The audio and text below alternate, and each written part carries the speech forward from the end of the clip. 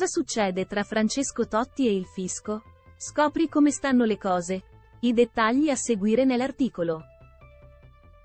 I problemi non finiscono mai. Dopo la tremenda crisi con Ilari Blasi, Francesco Totti deve vedersela con il fisco. Perché? Già nel 2023 si era parlato di un debito milionario da parte del pupone. Le prime indiscrezioni erano state diffuse dalla verità. In quell'occasione, il portale aveva evidenziato grandi somme di investimenti perpetrate nelle scommesse online. Alcune delle operazioni sospette risalgono all'agosto del 2022, anno funesto per Francesco Totti che oltre ai problemi con il fisco ha dovuto anche affrontare la separazione da Ilari Blasi. Si è parlato di un prestito infruttifero di ben 80.000 euro. Questo denaro sarebbe stato inviato al conto di una signora anziana residente ad Anzio, cointestato con la figlia. Francesco Totti e i problemi con il fisco. Cosa è successo? La figlia della signora che aveva percepito il denaro è una dipendente della società Sport e Salute controllata dal Ministero dell'Economia. Lo stesso giorno del trasferimento, però, i soldi venivano poi inviati nuovamente al marito dell'anziana donna, anche lui dipendente del Ministero dell'Interno, nonché amico di Francesco Totti. Purtroppo, però, non è finita qui. A quanto pare, sui conti corrente della coppia si susseguivano spesso bonifici domestici in favore del marito della signora di Anzio.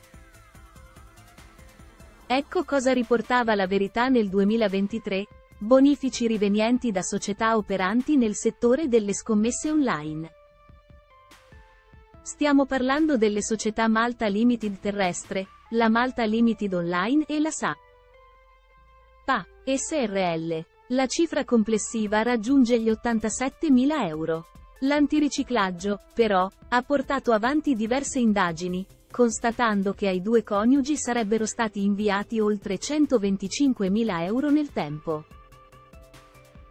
Ancora, poi, sono stati negoziati assegni bancari per un valore di almeno 445.000 euro. I due signori, interrogati nell'ambito delle indagini, non avevano fornito all'epoca adeguati chiarimenti che giustificassero le somme percepite. Il nome di Francesco Totti, poi, era comparso nella vicenda giudiziaria dal giugno del 2020. Il focus sui conti di Totti, poi, aveva visto due soggetti, uno di questi era cointestato con Ilari Blasi e l'altro con Manuel Zubiri a Furest, un ex team manager della Roma. Da qui era stato segnalato un fido di ben 2,5 milioni di euro per una ristrutturazione. Successivamente, poi, erano finiti sotto osservazione 5 assegni bancari e un bonifico, intestati alla Société Financière et d'Encaissement, SFE, con sede a Monte Carlo per 1,305 milioni di euro. Nella causale leggiamo, finanziare le giornate che il noto personaggio ama trascorrere nella casa da gioco del Principato.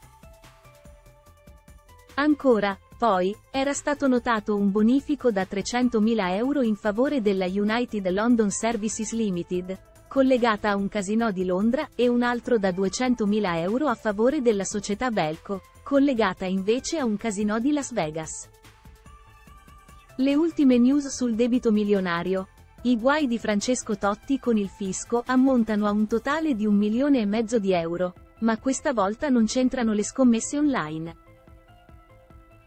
Per cinque anni, infatti, l'ex calciatore non avrebbe pagato l'IVA. Le indiscrezioni sono state rese note da Repubblica che suggerisce uno scenario inquietante.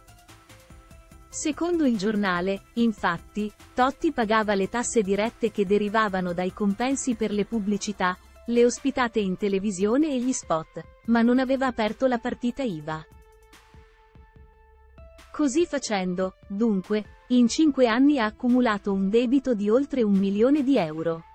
Dal 2018, infatti, finito il suo impegno regolare con il mondo del pallone, il pupone è diventato testimonial di diversi brand. Fra questi troviamo Volkswagen, Heineken, Dash, Wind e anche il Lotto. Ancora, poi, ha partecipato a diversi programmi, come ad esempio Celebrity Hunted, Che tempo che fa e molti altri. Questa attività, non più occasionale come un tempo, richiedeva l'apertura di una partita IVA, che però lui non ha mai aperto. A quanto pare, comunque, quando Finanza e Agenzia delle Entrate hanno bussato alla porta di Francesco Totti, quest'ultimo non si è certo tirato indietro e ha saldato tutto, sanzioni comprese.